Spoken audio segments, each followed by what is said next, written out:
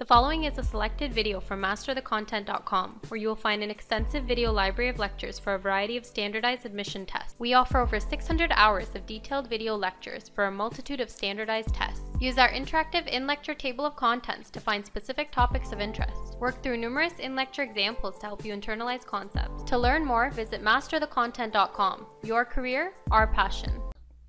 Now, as the light passes from medium 1 to medium 2, it bends away from the normal. Recall that tells us that the index of refraction for medium 1 is greater than the index of refraction for medium 2.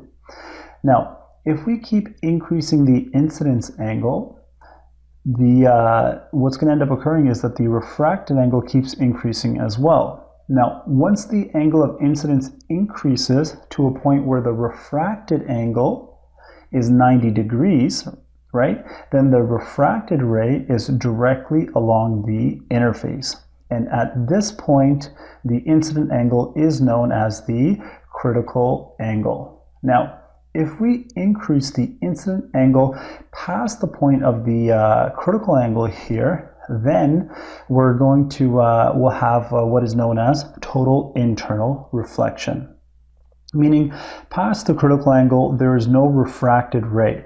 Furthermore, all the energy from the incident light ray is reflected. Therefore, the this light uh, that uh, the excuse me this light remains now uh, inside uh, medium one. Let's solidify our point with uh, with figure 38 once again. Now, for angles of incidence that uh, beyond the critical angle, such as light ray 5, 6, or 7, there's no refracted ray and all the light is reflected at the boundary surface. Let's sum up the conditions needed for total for excuse me total internal reflection and the critical angle. Take note as this is uh, important. Coming back up here now to figure 37, right?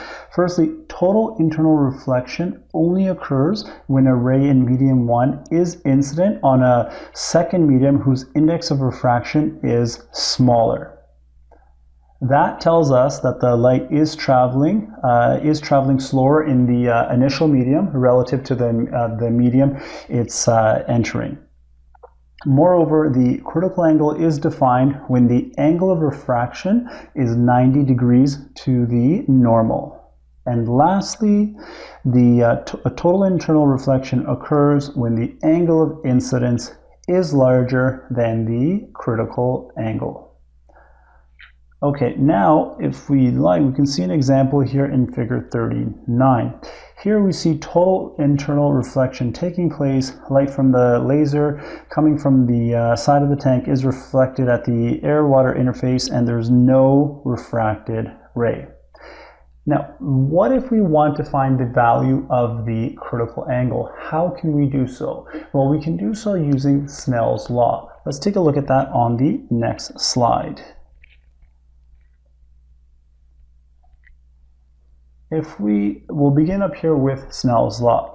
Now, when the critical angle is uh, is reached, the refracted ray is parallel to the surface, right?